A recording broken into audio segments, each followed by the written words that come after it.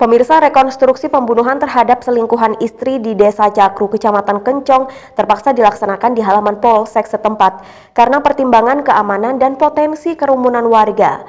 Dalam 11 adegan yang diperagakan, pelaku sempat nyaris pingsan sehingga harus dipapah oleh petugas.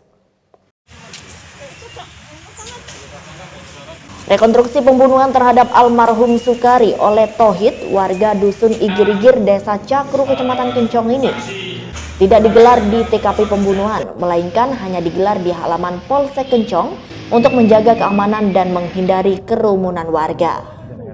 Dalam rekonstruksi yang dilakukan oleh tim Inavis Polres Jember tersebut ada 11 adegan. Dalam melakukan adegan, pelaku sempat syok sehingga harus dipapa dan diberi minum. Saat memperagakan eksekusi terhadap korban almarhum Sukari, Tohid mengaku sudah tidak ingat detail bagian tubuh mana yang terkena bacokan jule celok tak nyawa tak luwah langsung peteng. Si korban celok kari. Iki langsung peteng tak enak yang ngadep nih kali.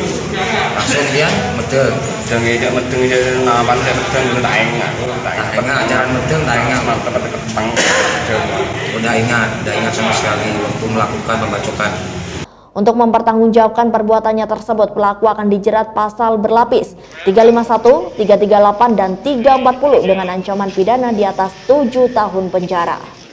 Dilaksanakan 11 adegan, mulai tahap awal, mulai uh, melakukan ketemu dengan korban sampai dengan akhir, sampai dengan dibawa ke rumah sakit dan diamankan tersangka.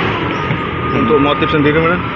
Motifnya tetap jadi uh, cinta lah cinta jadi istrinya istrinya curhat kepada suaminya sehingga suaminya terbakar emosi karena istrinya uh, sudah di uh, terkenal dengan korban sehingga melakukan tindakan kriminalitas.